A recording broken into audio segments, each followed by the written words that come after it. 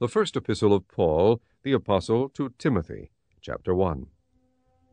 Paul, an apostle of Jesus Christ, by the commandment of God our Savior, and Lord Jesus Christ, which is our hope, unto Timothy, my own son in the faith,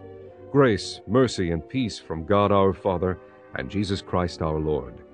As I besought thee to abide still at Ephesus, when I went into Macedonia, that thou mightest charge some that they teach no other doctrine, neither give heed to fables and endless genealogies, which minister questions rather than godly edifying which is in faith, so do. Now the end of the commandment is charity out of a pure heart, and of a good conscience, and of faith unfeigned, from which some having swerved have turned aside unto vain jangling, desiring to be teachers of the law, understanding neither what they say nor whereof they affirm. But we know that the law is good if a man use it lawfully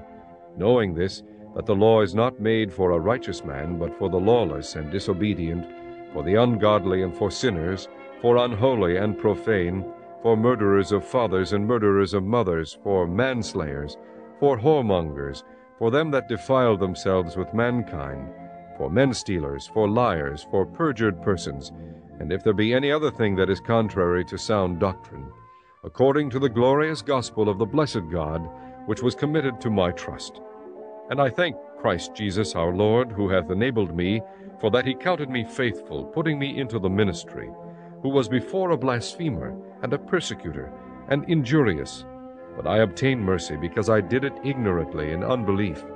And the grace of our Lord was exceeding abundant with faith, and love which is in Christ Jesus. This is a faithful saying, and worthy of all acceptation, that Christ Jesus came into the world to save sinners, of whom I am chief. Howbeit for this cause I obtain mercy, that in me first Jesus Christ might shew forth all longsuffering, for a pattern to them which should hereafter believe on him to life everlasting. Now unto the King eternal, immortal, invisible, the only wise God, be honor and glory for ever and ever. Amen. This charge I commit unto thee, son Timothy, according to the prophecies which went before on thee, that thou by them mightest war a good warfare, holding faith, and a good conscience, which some having put away concerning faith have made shipwreck, of whom is Hymenaeus and Alexander, whom I have delivered unto Satan, that they may learn not to blaspheme.